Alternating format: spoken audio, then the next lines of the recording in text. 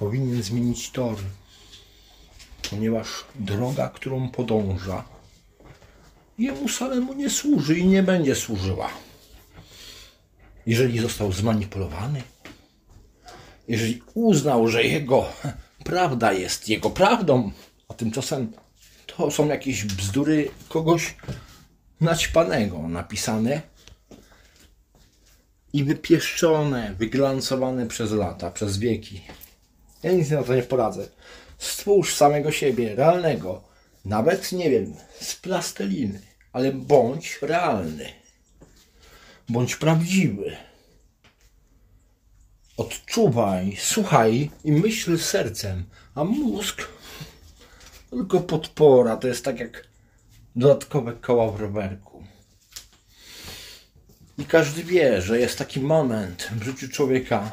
Jedni mówią, że dorosłość, kiedy te kółka trzeba ściągnąć, ale niektórzy z przyzwyczajenia i z lenistwa wolą pogrążyć się w letarg i niewiedzę.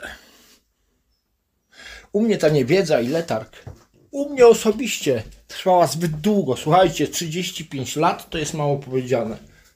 Myślę, że powtarzalność cykli zdarzyła mi się tak wielokrotnie, że w tej chwili ja nie mam złudzeń. Patrząc, obserwując na wydarzenia, wiem, że to już wszystko się wydarzyło. I teraz w moim życiu ode mnie tylko zależy, czy ta powtarzalność ulegnie zmianie, czy przekształci się, czy po prostu zakończy. To tylko ode mnie zależy, czy nowy cykl się rozpocznie.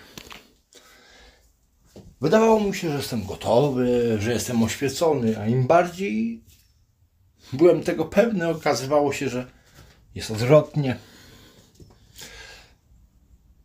Pamiętajcie, jeżeli jesteście ślepi na otaczające fakty, na rzeczywistość i na wewnętrzne dogmaty, to nie szukajcie drogi odcięcia. Nie płaccie jakimś wróżkom, aby dokonali czegoś takiego. Jedyne, co można się wtedy, co można wtedy zrobić, to zwrócić się do Boga, ale nie poprzez modlitwy i religię, którą nabyliśmy, którą zaprogramowali, przeprogramowali i zmanipulowali inni, tylko po prostu Wiecie, co jest najlepsze? Cisza, skupienie, pokora i zabierzenie się Bogu. Nic więcej. Bogu wszelkiego stworzenia, Bogu wszelkiej miłości. Wiem, że system stara się nawet te słowa, nawet te wyrazy zniekształcić, przebrać, ubrać im maskę ale czuję też, że to jest już ostatni z cykli. Zbyt długo nas zwodzili poprzez religię, władzę, wpływy i różne inne chocki klocki. Okazuje się, że cała cywilizacja złożona i zbudowana jest nie tyle na kłamstwie, ale na iluzji. A czym jest iluzja? Kłamstwem, nie jest prawdą. Jest oszustwem, jest manipulacją. Tak więc nie dajmy się zwieść pięknej mowie, która u, ko u kogoś wypłynie w danym momencie, tylko chwyćmy się gwoździ, które ktoś wypluwa z serca, zanurzmy się w własnej świadomości lub z pokorą w sercu poczekajmy na czas transformacji świadomości.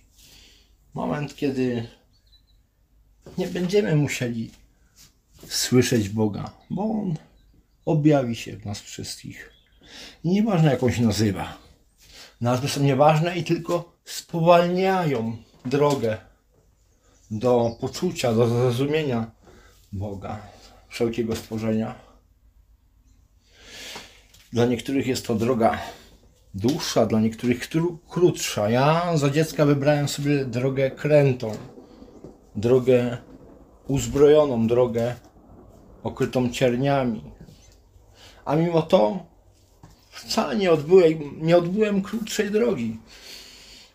Zdawałem sobie sprawę, kim byłem kiedyś i że moja droga jest praktycznie nieosiągalna w swoim celu. Widziałem też, że się mogę mylić, że tylko Bóg jest nieomylny. Więc mając 35 lat, oddałem się, zawierzyłem się całkowicie Bogu. I teraz, kiedy są chwile, gdy coś tworzę, wybudzam się z jakiegoś dziwnego letargu i wiem, że to nie ja sam sobą sterowałem. Nie obwiniam też nikogo. Nie staram się też obwiniać siebie, po prostu rozumiem, że ten proces trwa dalej. I każdy z Was, każdy z nas powinien zaufać temu procesowi. Swojemu procesowi, boskiemu procesowi. Wiecie, obrazy, symbole, historie i wszelkie różne rodzaje manifestacji wraz z Mesjaszami są tylko wskazówkami prowadzącymi do Najwyższego.